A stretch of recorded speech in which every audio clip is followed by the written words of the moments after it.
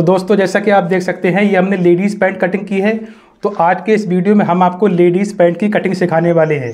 तो अगर आप ये वीडियो पूरा देख लेंगे और बिल्कुल भी कट करके नहीं देखेंगे तो आप इस वीडियो को देखकर किसी भी साइज़ की पैंट ट्राउज़र कटिंग कर पाएँगे। तो दोस्तों, आइए वीडियो को स्टार्ट करते हैं।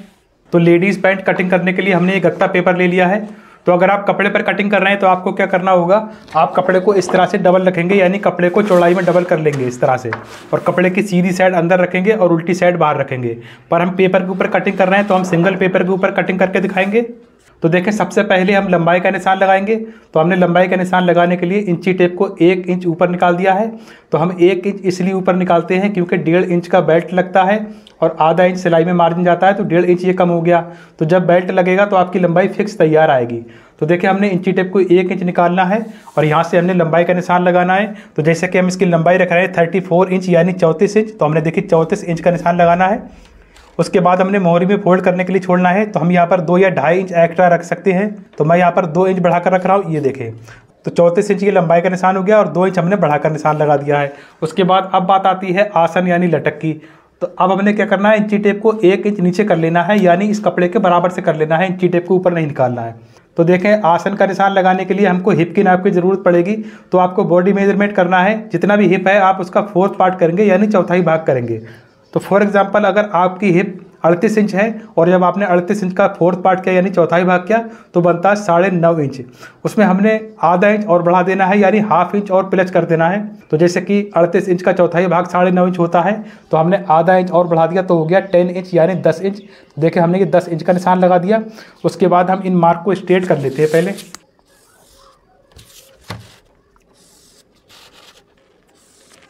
तो यहाँ पर हमने शेप स्केल रखना है। तो आपके कपड़े में किनारा होता है, यानी कन्नी होती है तो आपने किनारा छोड़कर यहाँ से इस तरह से बराबर रखना है। उसके बाद यहाँ से एक मार्क करेंगे, कुछ इस तरह से ये दे फिर उसके बाद हमने क्या करना है? उसके बाद हमने यहाँ पर कमर का निशान लगाना है। तो जैसे कि इसकी कमर 36 इंच है तो हमने 36 इंच का फोर्थ पार्ट करना है, यानी चौथाई भाग करना है। तो 36 का फोर्थ पार्ट बनता है 9 इंच यानी 9 इंच ठीक है? तो हमने क्या करना है? यहाँ पर एक इंच और ऐड कर देना है। क्योंकि एक इंच मार्जिन जाएगा सिलाई में, आधा इंच यहाँ सिलाई में जाएगा और आधा इंच यहाँ सिलाई में जाएगा। तो छत्तीस का चौथाई भाग होता है नाइन इंच और एक इंच और जोड़ा तो हो गया दस इंच। तो देखिए ये दस इंच हो गया। ये देखें कुछ इस तरह से। उसके बाद हमने एक इंच और जोड़ना है जो हम डॉट्स के लिए रखेंगे, जो हम प्लेट्स डालते हैं। तो हमने यहाँ पर देखिए ग्यारह इंच का निशान लगा दिया, ठीक है? हमने यहाँ से यहाँ तक नाप कर चेक कर लेना है। तो इस निशान से लेकर यहाँ तक आ रहा है ग्यारह इंच। तो हमने क्या करना है? यहाँ से इंची टेप रखना है, किनारा छोड़कर।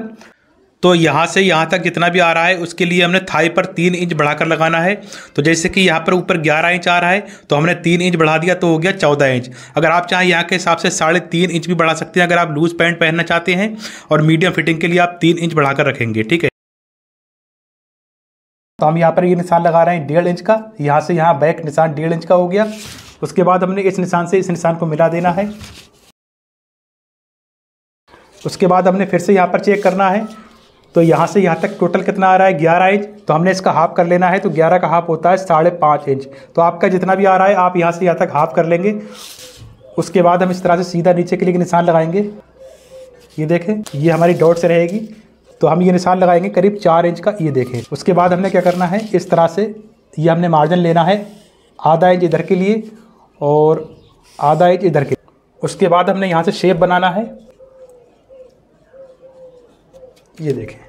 उसके बाद हम यहाँ से चेक करेंगे, यहाँ से यहाँ तक टोटल कितना आ रहा है? तो आप इस निशान से लेकर यहाँ तक नापेंगे, जहाँ तक आपका किनारा है ना, वहाँ तक आप नाप लीजिए, जितना भी आ रहा है उसका हाफ़ कर लेंगे। उसके बाद हमने इस निशान को यहाँ से नाप कर देखना है, कितना आ रहा है? तो ये आ रहा है पौने सात इंच। तो हमने यहाँ भी पौने सात इंच का एक निशान लगाना है। ये देखिए तो पहले हम इस निशान को सीधा करेंगे। ये हाफ़ सेंटर है, ये इसकी क्रीज रहेगी। तो अब जैसे कि हमने इसकी मोहरी रखनी है चौदह इंच, ठीक है? तो हमने क्या करना है? चौदह का फोर्थ पार्ट करना है, यानी चौथाई भाग करना है। तो आपकी जितनी भी मोहरी है, पंद्रह है, सोलह है, तेरह है, आप उसका चौथाई भाग कर लेंगे। तो जैसे कि चौदह इंच मोहरी है तो चौदह का चौथाई भाग होता है, साढ़े तीन इंच। तो हमने इस निशान से इधर के लिए साढ़े तीन इंच का एक निशान लगाना है, ये देखें। और हमने इस निशान से इधर के लिए भी साढ़े तीन इंच का एक निशान लगाना है। तो अब हम नाप कर देखेंगे टोटल कितना हो गया। तो ये अब हो गया सात इंच। तो देखिए ये मोहरी का हाफ़ हो गया। सारा मार्जिन इसी में ऐड है। उसके बाद हमने क्या करना है? आसन वाले को मोहरी वाले से मिला देना है। उसके बाद हम थोड़ा तिरछा करेंगे इधर के लिए। उसके बाद हमने आसन वाले निशान से रखना है और इस निशान से मिला देना है कुछ इस तरह से। ये देखें। यहाँ भी थोड़ा सा तिरछा कर देंगे। इस तरह से। यहाँ पर आपको क्या ध्यान देना है? यहाँ पर हमने हाफ़ इंच यानी आधा इंच यहाँ से डाउन करना है, कुछ इस तरह से। और जो हमने बीच सेंटर का निशान लगाया है, ये वाला, इस निशान से स्केल को रखेंगे और यहाँ से रखेंगे और हम क्रॉस मार्क लगाएँगे इस तरह से। ये देखें। तो देखें फ्रंट साइड की मार्किंग हो गई है, अब हमने इसकी कटिंग कर लेना है। तो दोस्तों, मैं हूँ अकील खान और आप देख रहे हैं अकील फ़ैशन डिज़ाइनर। अगर आपको ये वीडियो थोड़ा सा भी अच्छा लगे तो आप इस वीडियो को लाइक एंड शेयर कर सकते हैं। अगर आप चैनल पर नए हैं और आप ऐसे ही इंटरेस्टिंग वीडियो देखना चाहते हैं तो आप अकील फ़ैशन डिज़ाइनर चैनल को अभी सब्सक्राइब कर सकते हैं।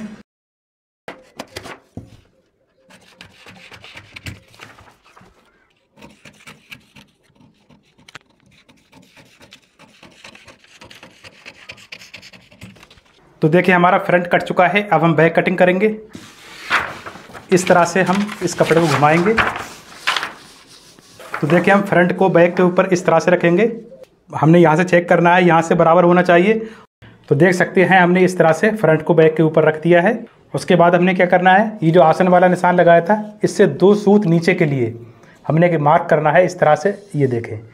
इस निशान से करीब दो सूत नीचे के लिए लगाना है ये निशान। ये जो हमने फ्रंट साइड की कटिंग की थी, इसके बराबर से रखना है। इस तरह से ये देखें। बिल्कुल सीधा रखना है। उसके बाद हमने ये मार्क कर देना है ऊपर के लिए। इस तरह से। अगर आप थोड़ा लूज रखना चाहते हैं तो आप इस निशान के हिसाब से और आधा इंच आगे के लिए निशान लगा सकते हैं। उसके बाद ये जो हमने फ्रंट की कटिंग की थी, जो यहाँ से हमने फ्रंट साइड को डाउन किया है, यहाँ से हमने मेज़रमेंट टेप को रखना है और यहाँ से हमने ढाई इंच का निशान लगाना है। टू एंड हाफ़ इंच, ठीक है? तो आप देखिए, मीडियम साइज़ के लिए हमने निशान ढाई इंच का लगाना है। अगर मीडियम से थोड़ा ज़्यादा है तो आप तीन इंच का निशान लगाएँगे। अगर ज़्यादा हैवी साइज़ है तो आप साढ़े तीन या चार इंच का भी लगा सकते हैं, ठीक? यहाँ से, ये देखें जो फ्रंट की कटिंग की गई है, यहाँ से हमने इसके लिए बराबर रखना है और इस निशान से रख देना है कुछ इस तरह से। ये देखें। उसके बाद ये जो हमने फ्रंट साइड की थाई कटिंग की थी, हमने इससे आगे के लिए करीब ढाई इंच बढ़ाकर रखना है। ये देखें इस तरह फिर उसके बाद हमने यहाँ से दो इंच ऊपर के लिए और यहाँ से हमने करीब सवा इंच आगे के लिए इस तरह से एक राउंड शेप बनाना है। इस तरह से। उसके बाद हमने ये जो लंबाई का निशान लगाया था, यहाँ से स्केल को रखेंगे बराबर और हमने इस तरह से, उसके बाद हमने इस मार्क को इधर भी उठा देना है, इस तरह से थोड़ा आगे तक ये देखें। उसके बाद हमने यहाँ से डेढ़ इंच आगे के लिए निशान लगाना है। उसके बाद हमने शेप स्केल रखना है, थाई वाले को मोहरी वाले से मिला देना है इस तरह से। ये देखें, उसके बाद हमने थोड़ा तिरछा करना है। तो अगर आप भी इस फॉर्मूले से कटिंग करेंगे तो आपकी पैंट भी बहुत ही शानदार फिटिंग में आएगी। सारा मार्जिन इसी में ऐड है। अब आपको कुछ भी नहीं करना है, इन्हीं मार्क से कटिंग कर देना है।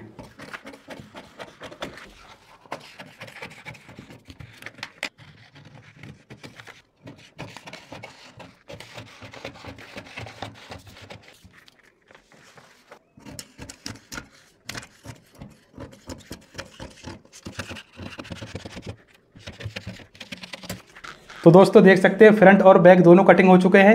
मिलते हैं नेक्स्ट वीडियो में। Thanks for watching this video